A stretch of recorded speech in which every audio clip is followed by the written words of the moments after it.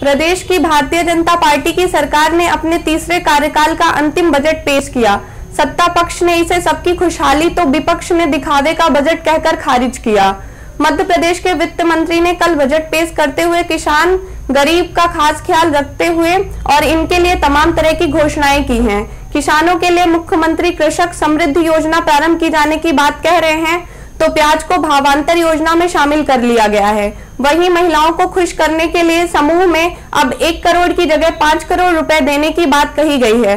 तो विधवा पेंशन के लिए बीपीएल से पात्रता हटा दी गई है। प्रदेश के बजट पर रीवा दर्शन ने आपको कल भी एक खबर दिखाई थी। उसी से जुड़ी हुई कुछ बातों को लेकर एक नज़र फिर से डालते हैं, जहाँ पर एक और भारतीय जनता पार्टी के संभागीय प्रवक्ता योगेंद्र शुक्ला इसे आज तक का सर्वश्रेष्ठ बजट बता रहे हैं। तो दूसरी ओर किसान नेता सुब्रमणी इसे सिरे से खारिज कर रहे हैं। आइए देखते हैं रीवा दर्शन से खास बातचीत में दोनों क्या कह रहे हैं। मध्य प्रदेश सरकार द्वारा प्रस्तुत किया गया आम बजट सर्व कल्याणकारी सर्वहितैषी और आम जनता, गरीब, किसान, मजदूर का भला करने वाला बजट है।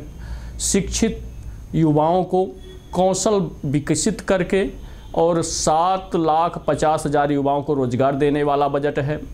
सबसे ज़्यादा इस बजट में स्वास्थ्य सेवाओं को फोकस किया गया है। ग्रामीण अंचल में हॉस्पिटल खोलने के लिए तीन करोड़ रुपए तक का अनुदान ऐतिहासिक कदम है। मैं इसकी भूल भूल प्रशंसा करता हूँ। आने वाले दिनों में यह बजट मध्य प्रदेश की विकास का पत्थर, मील का पत्थर साबित होगा। बहुत ही अच्छा बजट है। भावांतर योजना पूरी तरह से फेल हुई है। हम कहते हैं कि भावांतर योजना आखिर क्यों आप लाए? अगर किसानों को उनके फ़सलों के जो न्यूनतम समर्थन मूल्य हैं, उससे कम में मंडियों में डाक नहीं बोली जाए के नियम हैं तो उन नियमों का पालन किया जाना चाहिए। किसानों को हमारी केंद्र की सरकार ने ये लॉलीपॉप दिया कि हम अगर चुनाव जीतेंगे तो 50 लागत का 50 परसेंट से अधिक मुनाफा देंगे और आज तक केंद्र सरकार के अब पाँचवें साल में रन कर रही, आज तक नहीं दे पाई। हमारी हमारी प्रदेश की सरकार भी अभी चार साल तक के आप बजट देखिए, किसानों पर इतने फोकस नहीं किया जाता। लेकिन ये बजट पूर्णतः चुनावी बजट है, चुनाव के लिए, दिखावे के लिए बजट है, और गाँव का कुछ भी विकास, किसान का कुछ भी विकास नहीं होना है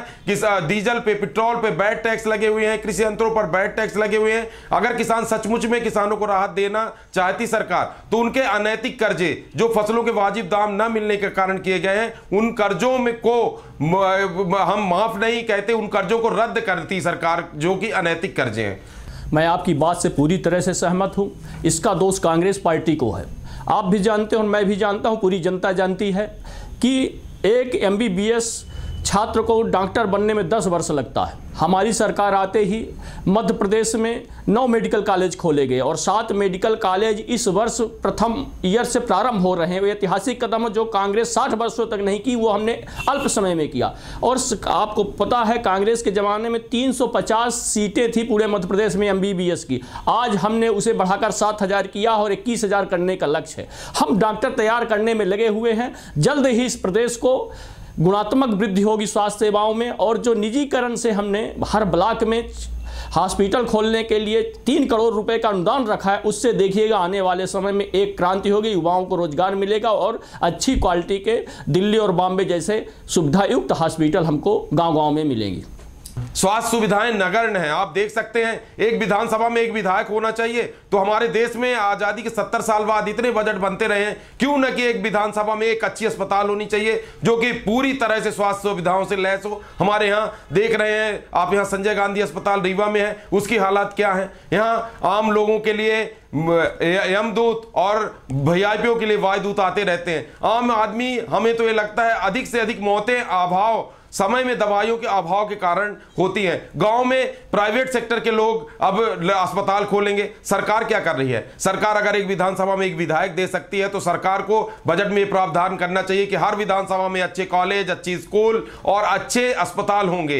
इन दोनों, यानी भाजपा प्रवक्ता और किसान नेता की बात सुनकर कांग्रेसी कहाँ चुप रहने वाले थे? बजट के दिन दोनों विधानसभा अपनी झोली में डालने वालों की बात सुनना ज़रूरी है। तो चलिए डालते हैं कांग्रेस नेता विनोद शर्मा के पास। जयंत मलैया जी ने निश्चित तौर पे अपनी सोच के अनुसार, जो उनकी सोच है, सर्वश्रेष्ठ बजट अपने तरफ़ से पेश करने की कोशिश किए होंगे। दुख इस बात का है कि जयंत मलैया जी लगातार बजट पे बजट दे रहे हैं और पूरे मध्य प्रदेश, भारत देश का वो राज्य बना पिछले साल कि तीन बार इनको अनुपूरक बजट भी पेश करना पड़ा। कागज़ का बजट है, कागज़ के टुकड़ों में बजट बनाया गया। इस बजट में मैं बिल्कुल एक युवा होने के नाते एक ऐसी बात करूँगा कि युवाओं के लिए इनके पास कुछ भी नहीं। किसान के लिए एक ऐसे समय पे जब पूरे भारतवर्ष में सर्वाधिक मृत्यु, सर्वाधिक आत्महत्या किसानों की मध्य प्रदेश में हुई है तो किसानों के लिए ऐसा इन पे कुछ भी दिखाई नहीं दे रहा। महिलाओं के लिए कुछ भी नहीं है। ऐसा लग रहा था कि मध्य प्रदेश के चुनावी वर्ष का बजट है। निश्चित तौर पे ये मलैया जी ने भी कहा कि चुनावी वर्ष का बजट है।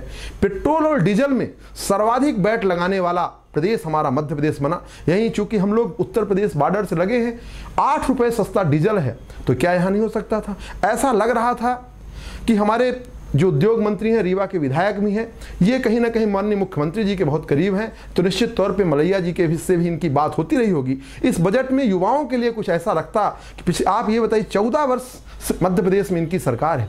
एक भी उद्योग इस क्षेत्र में कहीं भी लगा हो, जहाँ पे युवाओं को रोज़गार मिल सके, ऐसा कहीं दिखाई नहीं दिया। इसलिए मैं ऐसा मानता हूँ कि अब तक का केवल और केवल इनका बजट, हवा हवाई बजट रहा, खाना पूर्ति वाला बजट रहा कागजों में लिपा लपेटी वाला बजट रहा।